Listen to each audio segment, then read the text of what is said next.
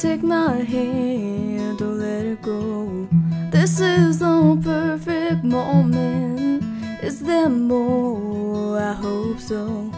You said I'm your brown eyed brunette tonight, and I don't know why, but I keep looking at you. And I don't know why, but you keep smiling Hi, I'm Francesca, and I'm a singer songwriter from Tampa, Florida. Sorry. Do you want me to do it again without the lip thing? Yes. I'm sorry. Okay.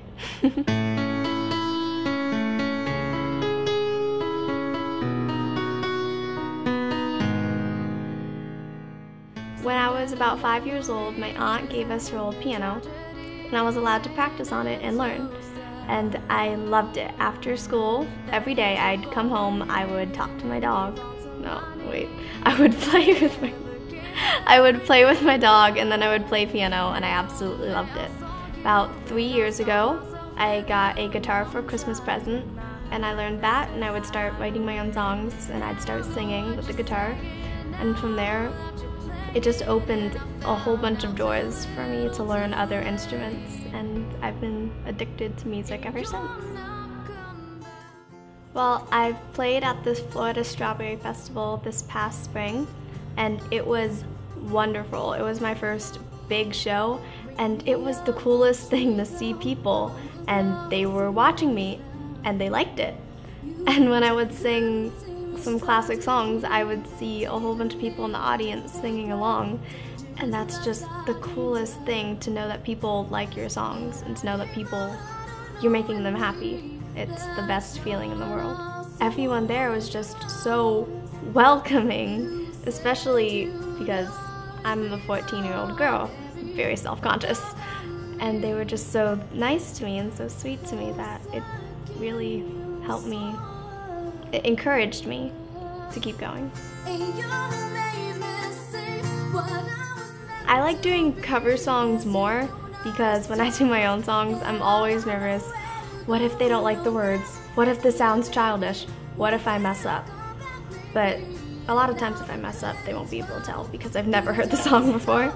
But cover songs are still a lot easier. You can see people smile, you see people laugh, you see people, hey, she's only 14, how does she know that song? My inspirations are a lot of Eva Cassidy, Adele, and Taylor Swift, but she's every 14 year old girl's inspiration. But they really pushed me to write my own songs and know, yeah, I'm a girl. Yes, I'm young, but I can do this if I have faith if I trust and if I work really hard because it's not going to come easy. No me, I want to go as far as it'll take me. I want to be on the music charts. I want to be out there touring, promoting my new albums. I want to be getting some Grammys, possibly. But, you know, whatever I can do with my music, that's what I'm going to do.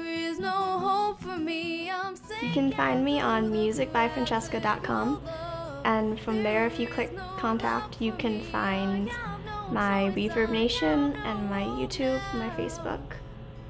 And on my Reverb Nation you can see my recorded songs, some videos, and wherever I'm going to be next.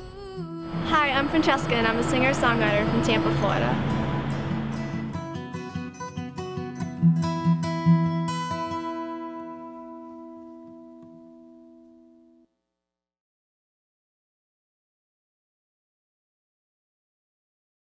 I don't have much to talk about. I was born, I got the piano, boom.